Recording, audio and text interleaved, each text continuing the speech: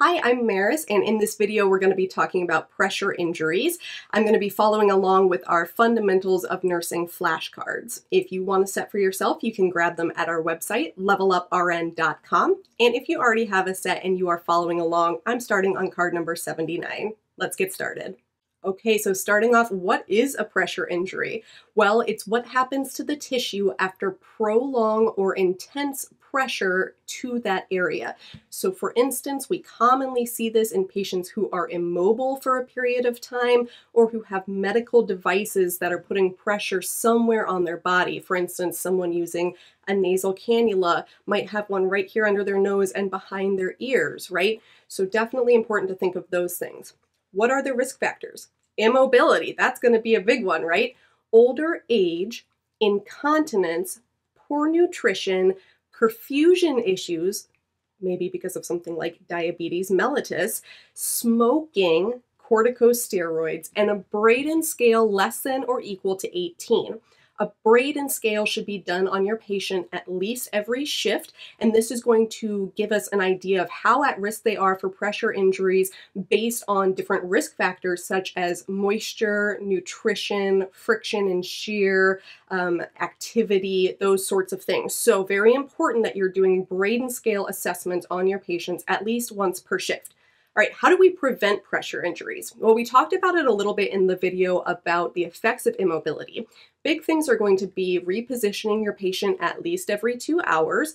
We're going to want to put them on a pressure redistribution mattress if possible. So if I know my patient is at risk, I want them on this special type of mattress, and I want the head of the bed less than or equal to 30 degrees.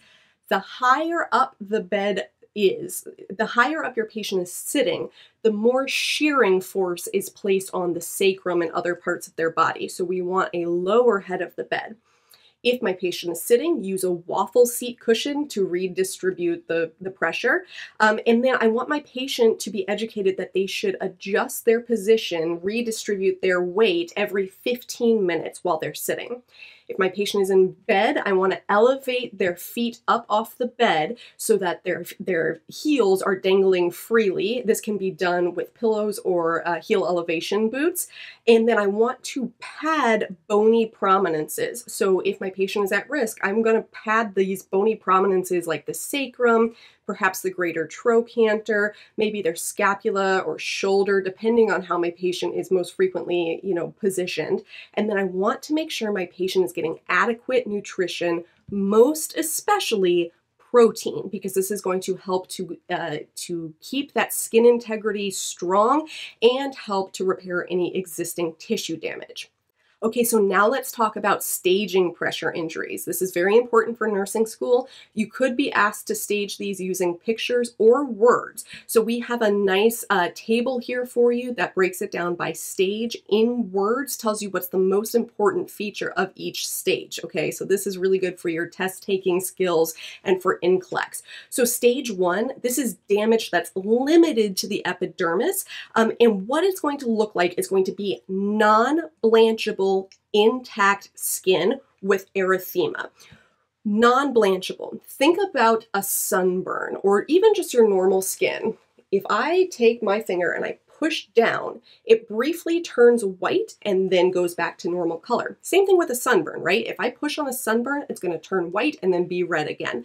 That is called blanching. So blanchability is, is absent here. If I have non-blanching erythema, I've got to be thinking pressure injury, okay?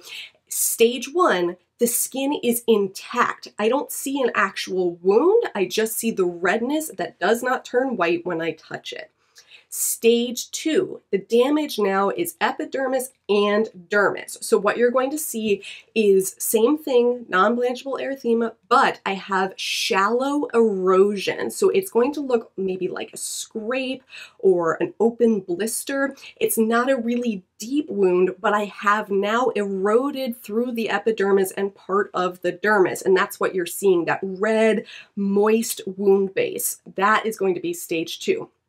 Moving on to stage three. Stage three, I want you to think damage. We are now to the hypodermis, the subcutaneous tissue, which means that I'm going to see, visibly see, adipose tissue, fatty tissue. This is that yellow chicken fat appearance, right? Uh, this is this is going to be called adipose. When I see that, I need to be thinking stage three, but I'm not seeing anything else. I see no other structures. I just see adipose stage three. Stage four, though, this is going to be damage extending beyond the subcutaneous tissue, and now I have to see another structure. It could be muscle, it could be tendon, it could be bone, it could be all three, two of them, just one of them.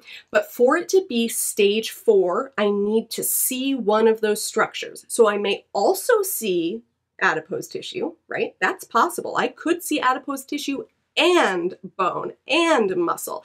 It's still stage four. Now, we call a wound unstageable when we can't see the wound bed. So if the wound is obscured, meaning I can't see past it because of slough or eschar, then it is unstageable. Now, eschar is going to be this kind of necrotic tissue, that brown or black tissue, whereas slough is going to be kind of tan, yellowish in appearance, and it's going to look kind of slimy but it doesn't matter which one it is. If I can't see the wound base, I can't tell how deep it is, right? So very important to understand that. And then deep tissue injuries, I always think of someone getting hit in the thigh with a baseball, right? Someone hits a baseball really hard, really fast, and it hits me right in the thigh. I'm probably gonna have a deep tissue injury. So I could have intact or non-intact skin, but it's going to be non-blanchable, but purple or maroon, a really, really deep color, like a really bad bruise. Um, so that's going to be the difference between that and a pressure injury, which is going to be from, um, you know, from prolonged pressure. It's going to have that red appearance erythema. Okay, so that is a review of pressure injuries, how to prevent them, what causes them, and, and how we stage them. If that was helpful to you, I would love it if you could like this video. Please leave me a comment below. I know that someone out there has a really great way to remember the different stages of the wounds. So if you have one, I want to hear it in the comments below. Be sure that you subscribe to our next um, videos. We have so much coming out for you and you want to be the first to know. Thanks so much for watching and happy studying. I invite you to subscribe to our channel and share a link with your classmates and friends in nursing school. If you found value in this video, be sure to hit the like button and leave us a comment and let us know what you found particularly helpful.